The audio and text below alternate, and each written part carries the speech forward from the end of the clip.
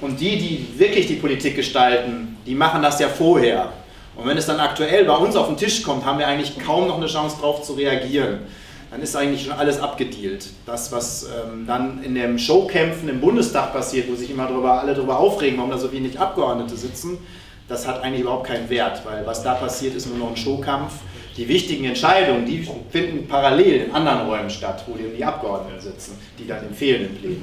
Das ist, ähm, das ist die Realität, die man wissen muss.